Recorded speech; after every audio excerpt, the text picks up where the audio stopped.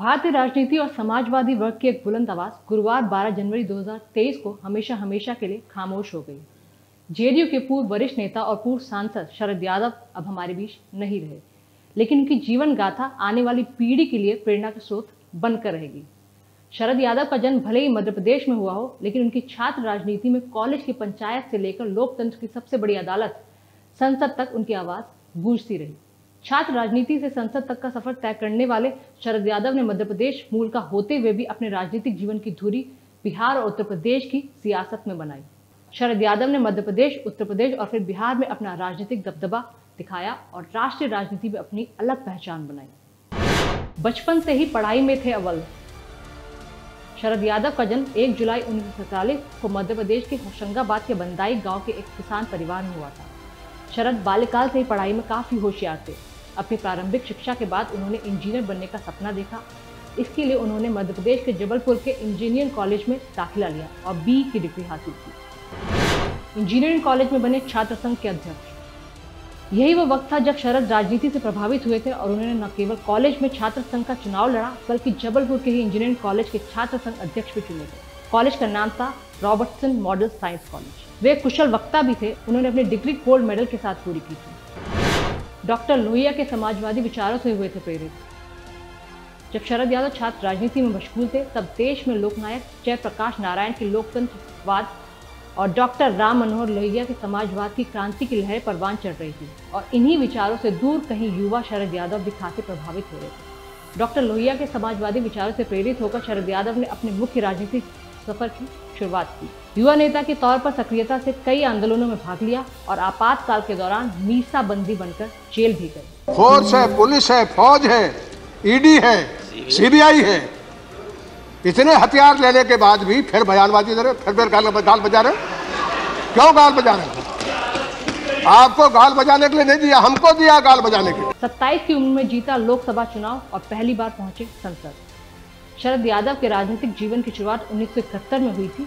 वे कुल सात बार लोकसभा सांसद भी रहे, जबकि तीन बार राज्यसभा सदस्य चुने गए। वे सत्ताईस साल की उम्र में पहली बार उन्नीस में मध्य प्रदेश की जबलपुर लोकसभा सीट से सांसद चुने गए थे। इसके बाद उन्होंने कभी पीछे मुड़कर नहीं देखा और उत्तर प्रदेश की बदायूं लोकसभा सीट और बाद में बिहार की मधेपुर लोकसभा सीट से भी सांसद चुने गए थे। केंद्र सरकार में भी संभाले थे अहम मंत्रालय। शरद यादव जनता दल के संस्थापक सदस्यों में से एक थे। वो उन्नीस नब्बे में केंद्रीय टेक्सटाइल और फ़ूड प्रोसेसिंग मंत्री भी रहे। उन्हें उन्नीस में जनता दल का कार्यकारी अध्यक्ष चुना गया। फिर बिहार में उन्नीस सौ छियानवे में पांचवी बार लोकसभा सांसद भी बने। उन्नीस में जनता दल के राष्ट्रीय अध्यक्ष बने और फिर उन्नीस सौ अठानवे में जॉर्ज फर्नांडिस के सहयोग से जनता दल यूनाइटेड पार्टी बनाई और एनडीए की घटक दलों में शामिल होकर केंद्र सरकार में फिर से मंत्री बने। और ये सिलसिला बदस्तूर चलता रहा। 2004 में शरद यादव राज्यसभा गए 2019 में सातवीं बार सांसद बने, लेकिन 2014 के लोकसभा चुनाव में उन्हें माधोपुर सीट से हार का सामना हालाँकि जीवन के अंतिम पड़ाव में अपने घने सहयोगी और बिहार के मुख्यमंत्री नीतीश कुमार से मनमुटाव भी हुआ, इसलिए शरद यादव ने जेडीयू से नाता तोड़ लिया था।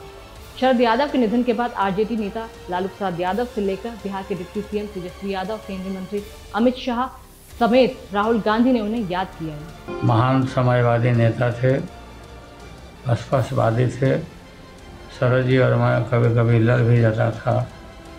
बोलने के मामले में, भाषण के मामले में विचारों को रखने के मामले में। लेकिन लड़ाई का कोई दूसरा कटु बात नहीं रहता था।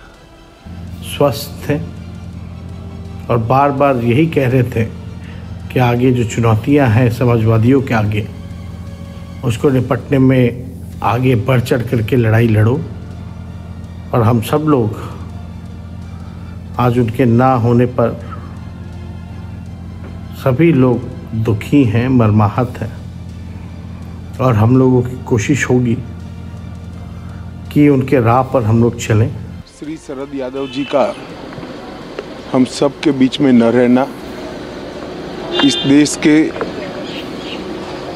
सार्वजनिक जीवन के लिए अपूर्णीय क्षति है। पाँच दशक लंबे सार्वजनिक जीवन में शरद जी ने हमेशा जनता के मुद्दे उठाए, पिछड़ों के मुद्दे उठाए और समाजवादी पार्टी के मूल सिद्धांतों को अंतिम सांस तक वो आगे लेकर चलते रहे। जॉइंट पब्लिक मीटिंग हुई। मैं उनको जानता नहीं था। और पब्लिक मीटिंग खत्म होने के बाद सब वापस जा रहे थे। तो मैंने उनको देखा, वो सड़क पे चल रहे थे। काफ़ी मतलब वहाँ पे कंफ्यूजन था। सब नेता निकल रहे थे तो मैंने उनको देखा चलते हुए तो मैंने कहा शरद यादव जी आप हमारे साथ चलिए।